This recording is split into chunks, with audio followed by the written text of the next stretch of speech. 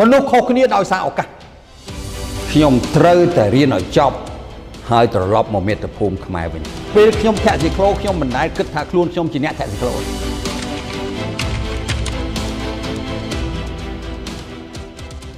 ខ្ញុំនៅភូមិស្រុកខ្ញុំអ្នកលក់ចាប់ហួយ ហើយឆ្លងកាត់លំបាកលំបិនកូនអ្នកជនបទធ្លាប់ជិះម៉ូតូទៅដឹកអីវ៉ាន់ជិះកង់លក់អីវ៉ាន់សពបែបយ៉ាង ថ្ងៃមួយខ្ញុំឮខ្មែរនិយាយភាសាអង់គ្លេសហេរស់ខ្ញុំចង់និយាយដូចគេដែរដូច្នេះទៅពៀពៀគៀនចាំងសាលារៀនហ្នឹងអត់មានអីជំរើសក្រៅពីល្អបំផុតហែកចាំងរៀនទៅដូច្នេះយើងបង្ហើបអញ្ចាំងធៀងដងស្លឹកស្នោតអាស័យហ្នឹងអារម្មណ៍គឺនៅក្នុងនោះ A B C D Hello ចេះតែប៉ុណ្្នឹង How are you យ៉ាងទៅវាដូចជាអស្ចារ្យដែរការចាប់ផ្ដើមប៉ុណ្ណឹងរៀន ABCD ហ្នឹង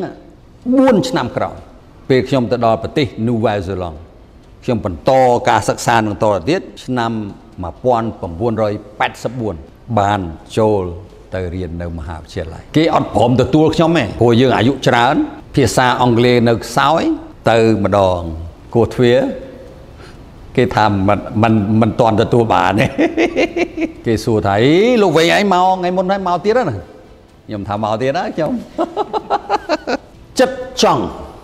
ជាបំណងដែលខ្ញុំមានរហូតតលតែអ្នកនឹងឃើញតលអ្នកលេខធ្វើការនឹងគេឃើញគេសួរថាទេ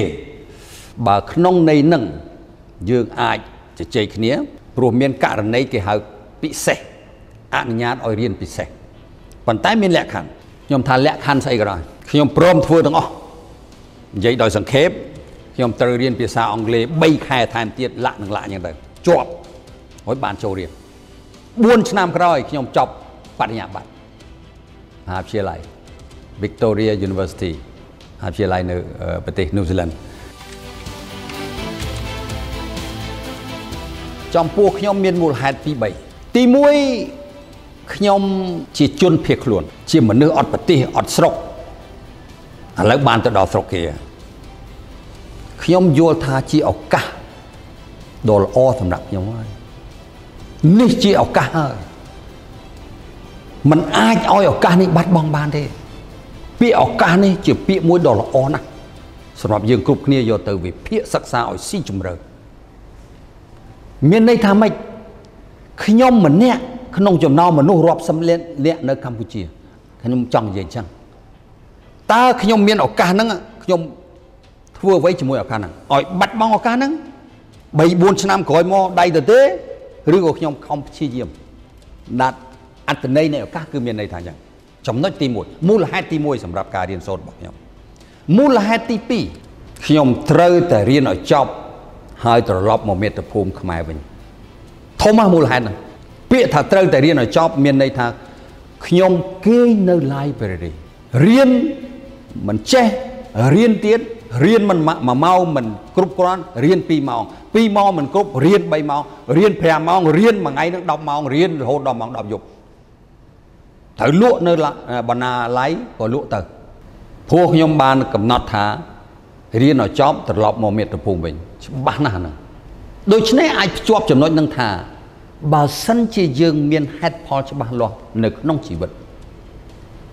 ខ្ញុំរកឃើញខ្លួនឯងថាហេតុផលស្មើនឹង80%នៃជោគជ័យក្នុងជំហានអ្វីមួយក៏ដោយក្នុងជីវិតយើងការងារក៏ដោយរោគស៊ីក៏ដោយបំណងសម្រេចស្អីមួយក៏ដោយហេតុផលធំណាស់ខ្ញុំអត់ឲ្យតម្លៃអំពី ជនជាតិបារាំងបកែជាងខ្ញុំជនជាតិស្បែកសគ្រាន់បើជាងខ្ញុំកូនអ្នកអភិជនគ្រាន់បើកូនជាងកូនអ្នកជនបទខ្ញុំមិនដែលមានកំណត់ហ្នឹងណាពេលខ្ញុំធាក់ស៊ីក្លូខ្ញុំមិនដែលគិតថាខ្លួនខ្ញុំជាអ្នកធាក់ស៊ីក្លូស៊ីក្លូគ្រាន់តែជាឧបករណ៍មួយក្នុងការរៀបចំដំណើររបស់ខ្ញុំឲ្យបានរៀនសូត្រឬក៏ជាស្ពានចម្លងមួយក្នុងជីវិតតែប៉ុណ្ណោះប៉ុន្តែខ្ញុំមិនមែនអ្នកធាក់ស៊ីក្លូទេបើយើងបោះបង់ការរៀនសូត្រតើយើងមានស្អីទៀត ហើយជាពិសេសបងប្អូនអ្នកខ្សត់ខ្សោយកូនអ្នកជនបទខ្សត់ខ្សោយក្រីក្រ មានស្អីទៀតយើងមានស្អីទៀតអានេះក៏ជាហេតុផលមួយដែរដែលជំរុញឲ្យខ្ញុំបន្តការសិក្សាខិតខំព្យាយាម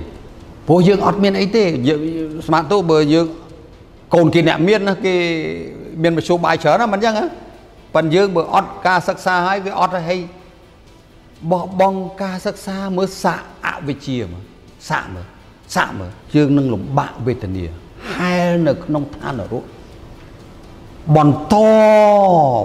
ការខ្សត់ក្រភាពក្រីក្រតចំនួនយើងចង់បានហ្នឹងទេដូច្នេះយើងត្រូវតែខិតខំប្រឹងប្រែង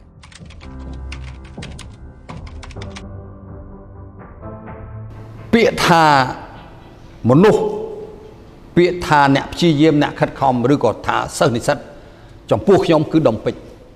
គ្រាន់តែយើងមិនទាន់បានកែច្នៃដុសខាត់ឲ្យវាទៅភ្លឺតែប៉ុណ្ណោះអត់បែងចែកទេអត់បែងចែកទេមានតែពាក្យមួយទេដែលមនុស្សមនុស្សគ្រប់រូបត្រូវស្វែងរកវាហើយយកវាមកប្រើឲ្យបានជាប្រណិតបានល្អបំផុតក្នុងដំណើរជីវិតគឺឱកាសមនុស្សខុសគ្នាដោយសារឱកាសមិនដោយសារយើងក្រីក្រទេមិនដោយសារយើងអ្នកស្ទឹងមានជ័យកំណោសម្រាម អ្នកឧត្តមមានជ័យចុងកាត់មាត់ញោកអ្នកខេត្តកចេះ ព្រៃភ្នំឬក៏បន្ទាយមានជ័យមិនអញ្ចឹងណាឱកាសធ្វើឲ្យមនុស្សខុសនេះ